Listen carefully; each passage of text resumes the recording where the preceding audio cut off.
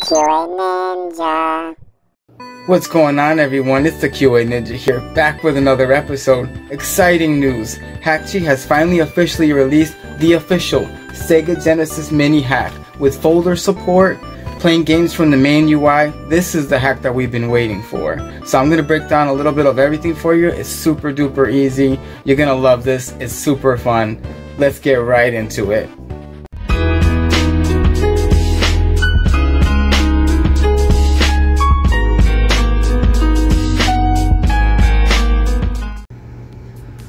Alright, so the first thing you're going to want to do is head over to the Hakchi GitHub repo here. And then you want to go ahead and click on Hakchi Debug. To install this, I would recommend because it actually gives you a window showing any errors if you run into them that could help you out in troubleshooting. So we're just going to click on this. And then we're going to open up on the app here. And then this is the Hakchi, the official CE 3.7 as of now. And then here's the debug window. So first we're going to need to connect our Sega Genesis Mini and install the custom kernel. Click yes. So for this you want to make sure you power the button, hold reset and then plug in the USB, micro USB cord for this. And you need this to be a data transfer one, not the one that it came with. Link below for one that will work for you. Transfer over the game, so I'm going to drag it into the main window here. Okay, so it's in there. So to hide all the stock games, if you want to see what you just added, we're going to go to original games, then hidden, and here are original games. So next thing we're going to want to do is actually do box art for this, which is very easy. I'm going to start with Aladdin on top. So click on the artwork tab, Aladdin, and then click on Google here, select this image right here if you like it, and then spine get the side image. So I selected this logo and I'm going to go with the USA red stripe. Hit OK. And then you just have to do this for each one that you are working with, each game. Or you can go ahead and click on each one, select multiple of them. And then you can right click, select um, box art for selected games. Very easy. Okay, so the next thing we're going to want to do is we need to install some modules. So we need to first download, go to KMFD Mod Hub here, and we're going to have to download um, KMFD RetroArch.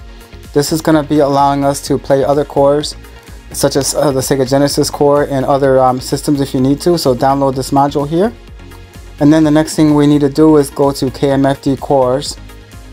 And then we're going to look for uh, Sega Genesis. And I'm going to also um, download the 32X mod here for the sake uh, purpose of this so you guys can kind of see how it works. We're just going to download them. So it's going to be Genesis plus GX and Pico Drive for the 32X. And we're going to download both these modules. You're going to have to also install them. So we're going to do that next. So click download again. Takes just a couple seconds to do. And okay. So after that, we need to go ahead and go back to modules and install extra modules. And then we're going to click and check Genesis plus GX. And for this, Pico Drive, and make sure you click on RetroArch. All these have to be installed. As you see, it's going to start installing. It's a very quick process.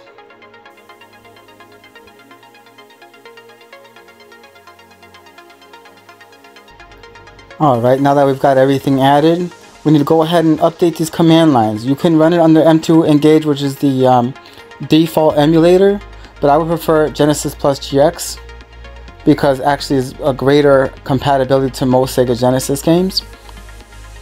So this, and then you want to click on Apply to update and then Close. And there you have it. So Aladdin's been updated for the command line. It's very simple to do and you would have to do that for every single game as I already did it for Virtua Fighter uh, the 32X command line has been updated. And that's pretty much it for that. The last thing you're going to have to do is just simply click on structure for custom folders. And for this, I like to go by split by console. Just so you can have everything organized by the consoles. And I'm going to have the Sega Genesis games appear on the home screen. So Control A. And just drag this all over to the main side. So we're just gonna have the Sega Genesis games on the home screen and my 32X folder there.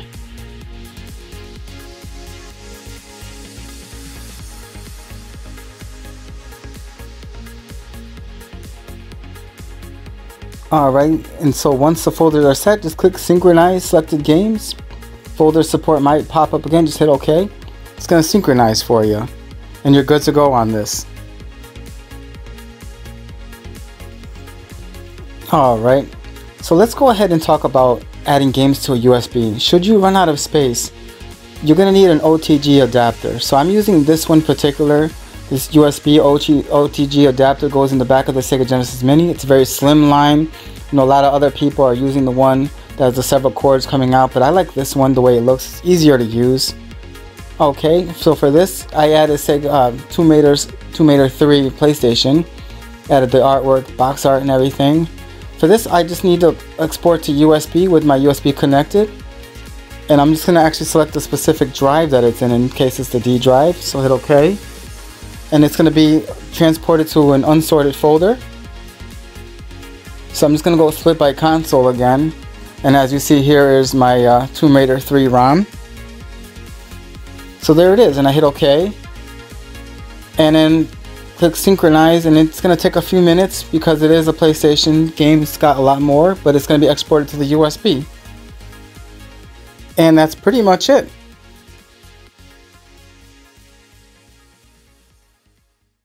boot up the Sega Mini, see what we got here. And now I hit all the stock games just so you can see all the games that we've added. A little bit of everything and uh, yeah, so let's uh, check out some Sonic 3D Blast here. This is going to load directly from RetroArch. So you can check out how the game plays. It's going to be running pretty smoothly. Great graphics. Always been one of my favorite games here. Alright, and to exit out of it, you just hit hold start and select.